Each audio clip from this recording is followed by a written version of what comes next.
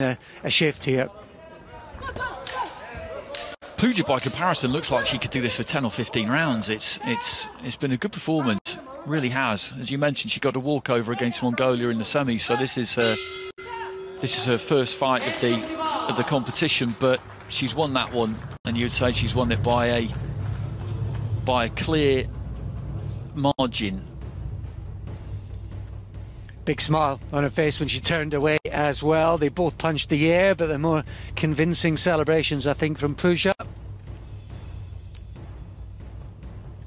Great credit to Mavlanova. I think the, the, the effort that she put in in that final round was absolutely terrific.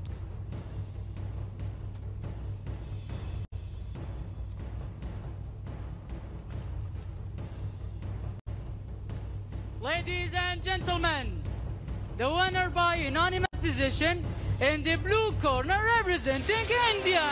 Pooja, she does it again. 2019 champion.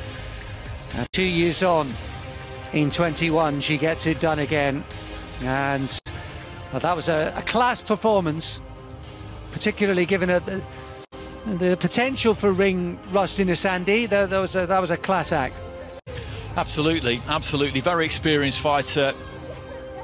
Has been operating at the highest level for a long, long time now. Won a silver medal at the Asian Championships back in, in 2012. So she knows exactly what this is all about and wasn't put off in the slightest by the fact that, as you said, this was her her first outing. She'll have been around this for the last 10 days almost. Athletes started to arrive around.